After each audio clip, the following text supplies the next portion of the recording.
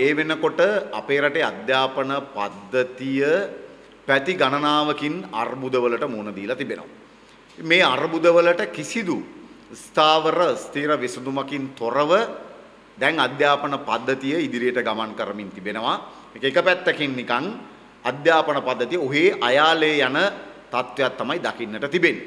මේක පැති ගණනාවක එක පැත්තකින් ගුරු හිඟය පැත්තෙන් අනිත් පැත්තෙන් උත්තරපත්‍ර ඇගයීම් ක්‍රියාවලිය විධිමත්ව සිදු නොවීම ඒ කියන්නේ විභාග ක්‍රියාවලිය අඩපණ වීම ඒ වගේම ගුරුවරු ස්ථානමාරු කිරීම මෙතනදී සිදුවෙමින් තිබෙන අවිධිමත් ක්‍රියාමාර්ග ඒ ආදී වශයෙන් විවිධ ක්‍රියාමාර්ග ඔස්සේ අපිට මේ විවිධ පැතිකඩයන් ඔස්සේ මේ අර්බුදය දකින්නට පුළුවන්කම තිබෙනවා. දැන් මේ කිසිවකට ආණ්ඩුව පැත්තෙන් කිසිදු ස්ථාවර විසඳුමක් ලබා දෙන බවට අපිට පේන්න නැහැ. දකින්න පේන්න නැහැ. උන් ඒ වෙනුවට අඳුරේ අතපත ගාන එකක් තමයි දකින්න තිබෙන්නේ. දැන් අපේ රටේ ගුරු හිඟේ ගත්තොත්. ඉතාමත් දැවැන්ත ගුරු හිගයක් අද අපේ රටේ පවතිනවා. දැන් මොකද්ද ආණ්ඩුව මේකට යොදලා තිබෙන ක්‍රියාමාර්ගය?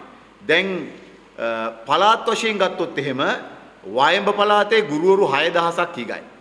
ඌව පළාතේ ගුරුවරු 4500ක් ඉගයි. මධ්‍යම පළාතේ ගුරුවරු 5300ක් ඉගයි. උතුරු මැද 3100ක්, දකුණ 4200ක්, සබරගමුව 2000ක්, නැගෙනහිර 4173ක්, බස්නාහිර 5167ක්, උතුර පළාත 1500ක් ආදී වශයෙන් ගුරුවරු 36000කට ආසන්න ප්‍රමාණයක් ගුරු හිගයක් අද මුළු රට පුරාම පවතිනවා. අද මුළු රට පුරාම පවතිනවා මේ අපි සතු සංඛ්‍යා ලේඛන සහ අපි සතු තොරතුරු අනුව. දැන් ආණ්ඩුව මොකද්ද මේ සඳහා ගනු ලබන ක්‍රියාමාර්ග?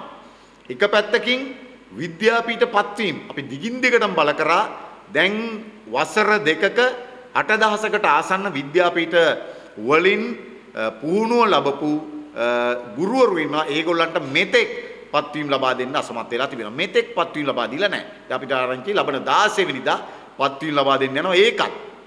රනිල් වික්‍රමසිංහ අරලියගහ මන්දිරයට කැඳවලා අරලියගහ මන්දිරයේදී පත්වීම දෙන්න යනවා. ඈත කෙළවරේ අම්පාර ත්‍රිකුණාමලය මඩකලපු ආදී ප්‍රදේශවල ඉඳලා මේ පැත්තෙන් හම්බන්තොට මොනරාගල පැතිවල ඉඳලා ගුරුවරු ගුරු පත්වීම් ගැනීම සඳහා මේ විද්‍යාපීඨ ශිෂ්‍යනලාභීන්ව අරලියගහ මන්දිරයට කැඳවන්න සූදානම් වෙලා ඉන්නේ. ඒකත් ඔහුගේ දේශපාලන ව්‍යාපෘතියේ කොටසක් බවට අද ඒ පත්වීම් ලබා දීමත් පත් කරගන්න උත්සාහ කරලා තිබෙනවා. ඒකට හරි පැහැදිලි මේගොල්ලන්ට ඕනකම තියෙන්නේ කඩිනමින් පත්වීම් ටික දීලා මේ ගුරුවරු ටික පාසල් වලට මම මේ සඳහන් කරපු ගුරු හිඟේ පියවන්න නෙවෙයි තමන්ගේ දේශපාලන ප්‍රතිරූපය පුම්මා ගැනීම වෙනුවෙන් පත්වීම් ලබා දීමේ ක්‍රියාවලියක් තමයි සිදුවීමෙන් තිබෙන්නේ. ඒ වගේම අපිට මතකයි පසුගිය පෙබරවාරි මාසයේ 5 වෙනිදා මේ ආණ්ඩුවේ හොරණෑවක් වෙච්ච ආණ්ඩුවේ පත්තරයක් වෙච්ච සිළුමිණ පත්තරේ ප්‍රධාන ප්‍රවෘත්තිය. මොකද්ද මේක කියන්නේ? නව පාසල් වාරයට පෙර ගුරුපත්වීම් 34000. නව පාසල් වාරයට පෙර ගුරුපත්වීම් 34000ක් මේ කවුද කියන්නේ? රනිල් වික්‍රමසිංහ දිනේෂ් ගුණවර්ධනලා ඇතුළු මේ ආණ්ඩුව. මේ ආණ්ඩුව කියනවා අලුත්පත්වීම් 34000ක් දෙනවා අලුත් පාසල් වාරය ආරම්භයට පෙර. අලුත් පාසල් වාරය ආරම්භ වුණේ මාර්තු මාසේ 27 වෙනිදා. يعني 2023 සඳහා පාසල් වාරය ආරම්භ වුණේ මාර්තු 27. ඒතකොට මේක කියන්නේ පෙබරවාරි 5. අවශ්‍ය නම් මාස එකමාරක කාලයක් තිබුණා විභාග සදා ඉල්ලුම් පත්‍ර කැඳවලා ගැසට් කරලා විභාග තියලා ඕනේ නම් බඳව ගන්නත් පුළුවන්කම තිබුණා. බැරිකම මාස එකමාරට වැඩි කාලයක් තිබෙනවා. මාස එකකුත් දින 20කට වැඩි කාලයක් තිබෙනවා. එසේ අපි හිතන එහෙම හිතලා වෙන්නේ නැති මේක කිය හැබැයි මේක ගල් පැලෙන බොරුවක් බවට අද පත් වෙලා තිබෙනවා. රනිල් වික්‍රමසිංහ ආණ්ඩුව මේ කියපු කතාව පෙබරවාරි මාසේ 5 වෙනිදා සිළුමිණ පත්තරේට ගල් පැලෙන බොරුවක් බවට පත් වෙලා තියෙන ඒ විදිහට පුරප්පාඩු පුරවලා නැහැ පාසල්වල. ඒ නිසා අදටත් මම මේ සඳහන් කරපු දැවැන්ත පුරප්පාඩු ප්‍රමාණයක් අද පාසල් පද්ධතිය තිබෙනවා. ඒ නිසා අර්බුද ගණනාවක් මතුවෙලා. සමහර ගුරු ඉන්නවා නැගෙනහිර පළාතේ වසර 7 8 10 සේවය කරපු ඒ අය බලාපොරොත්තු ඉන්නවා තමන්ගේ ගම් ප්‍රදේශවලට එන්න. ඔවුන්ට එන්න හැකියාවක් නැහැ. තව සමහර දුෂ්කර සේවාවන් නිම කරලා තමන්ගේ ජීවිත ඉතිරි කොටස ගොඩනගා ගැනීම වෙනුවෙන් ඔවුන් තමන්ගේ ගම් වලට එන්න බලාගෙන තමන්ගේ නිවෙස් ආසන්නයේ පාසලකට ගම් ප්‍රදේශයේ පාසලකට එන්න බලාගෙන ඉන්නවා. ඔවුන්ට ඒ පාසලට එන්න විදියක් නැහැ මේ අලුත් පත්වීම් ලබා නොදීම නිසා. ඒ විතරක් නෙමෙයි.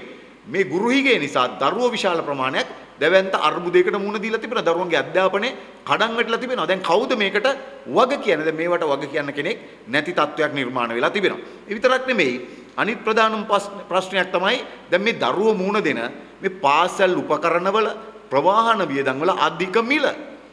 ඒ වගේම දරුවන්ගේ පෝෂණ ගැටලු. මේක බරපතල ප්‍රශ්නයක් බවට අද අධ්‍යාපන ශිෂ්‍යපත් වෙලා තිබෙනවා. අද වෙනකොට දරුවන්ට පෑන පැන්සල මිලදී ගන්න විදියක් නැහැ. ඔබට මතකයි රුපියල් 10ට තිබුණු පෑනක් රුපියල් 25 30ට වඩා වැඩි වෙලා තිබෙනවා. රුපියල් 15ට තිබුණු පැන්සලක් රුපියල් 45 50 දක්වා ඉහළ ගිහිල්ලා තිබෙනවා. ඒ වගේම මකන කෑල්ලක් ඉරේසර් එකක් රුපියල් 2කට වගේ තිබුණේ රුපියල් 10ක් 15ක් අතර මිලකට ඉහළ ගිහිල්ලා තිබෙනවා. සමහර මිලවල් 3-4 ගුණයකින් තව සමහර මිලවල් 5-6 ගුණයකින් මිල ඉහළ ගිහින් තිබෙනවා මේ පාසල් උපරකන් වල. පිටු 40ක පොතක් රුපියල් 20ට තිබුණේ අද රුපියල් 80වත් 100ත් අතර මිලක් වෙනවා. ඒ වගේම පිටු 120ක පොතක් රුපියල් 65ට තිබුණේ අද රුපියල් 220ක් 260ක් වෙනවා. පිටු 400ක පිටු පොතක් තිබුණ රුපියල් 230ට රුපියල් 450 ඉක්මවලා ගිහිල්ලා තිබෙනවා. ඒ වගේම පිටු 40ක CR පොතක් රුපියල් 70ට තිබුණේ අද 145යි. 120ක CR පොතක් රුපියල් 130ට තිබුණේ 350 ඉක්මවලා තිබෙනවා. පිටු 200ක CR පොතක් 220ට තිබුණේ 595 ඉක්මවලා තිබෙනවා. කවකඩු පෙට්ටියක් රුපියල් 380ට වගේ තිබුණේ 980ක් ඉක්මවලා තිබෙනවා. ඒ වගේම බෑග් එකක් රුපියල් 850ට 900ට තිබුණු බෑග් එකක් රුපියල් 3500ක් 4000ක් දක්වා ඉක්ම ගිහිලා තිබෙනවා. ඒ වගේම සපත්තු කුට්ටමක් රුපියල් 800ට 900ට 1000ට තිබුණු සපත්තු කුට්ටමක් 4500 5000 දක්වා මිල ගිහින් තිබෙනවා. දැන් කොහොමද මේ දෙමව්පියෝ මේක මිලදී ගන්න? කිසිදු ආර්ථික වශයෙන් දෙමව්පියන්ගේ මෙරට ජනතාවගේ ආර්ථිකයේ ශක්තිමත් නොවි ජනතාවගේ ආදාය මාර්ග කිසිවක් වැඩි නොවි පඩිපත කිසිවක් වැඩි නොවි ඔවුන්ට සිදු වෙලා තිබෙනවා මෙවැනි විශාල වියදමක් දරුවන්ගේ පාසල් උපකරණ සඳහා දරන්න. ඒ වගේම තමයි දරුවන්ගේ ප්‍රවාහන ගාස්තු අද ප්‍රවාහන ගාස්තු පාසල් වෑන් රථ ගාස්තු ඒ වගේම සාමාන්‍ය පොදු ප්‍රවාහන ගාස්තු සිට 40කට ආසන්න ප්‍රමාණයකින් ඉහළ ගිහිලා තිබෙනවා. සිට 40කට ආසන්න ප්‍රමාණයකින් ඉහළ ගිහිලා තිබෙනවා ප්‍රවාහන ගාස්තුව. රුපියල් 12ට තිබුණු බස් ගාස්තුව අද රුපියල් 30යි. රුපියල් 17ට තිබුණු බස් ගාස්තුව රුපියල් 37යි. රුපියල් 19ට තිබුණු බස් ගාස්තුව රුපියල් 48යි. රුපියල් 23ට තිබුණු බස් ගාස්තුව රුපියල් 60යි 59යි. මේ විදිහට බස් ගාස්තු ඉහළ ගිහින් තිබෙනවා. පාසල් ප්‍රවාහන රථ ගාස්තු රුපියල් 2000ට 2500ට ගිය කෙනා රුපියල් 10000කට වගේ ආසන්න වෙලා තිබෙනවා. රුපියල් 3000ට ගියපු කෙනා රුපියල් 12000 ඉක්මවලා තිබෙනවා. සමහර දෙමව්පියන්ට රුපියල් 15000ත් 20000ත් අතර මිලක් ගෙවන්න වෙලා තිබෙනවා. පාසල් වෑන් රථ සඳහා මේක දරන්න බෑ. ඒක දරන්න බැරි ප්‍රවාහන වියදමක් වෙලා තිබෙනවා. මේක දරුවන්ටත් එහෙමයි, ගුරුවරුන්ටත් එහෙමයි. සමහර ගුරුවරුන්ට කිලෝමීටර් 50 60 70 ඊටත් වඩා වැඩි දුර ගෙවාගෙන විශාල මුදලක් වියදම් කරගෙන දවසකට රුපියල් 1000 1500 සමහර රුපියල් 2000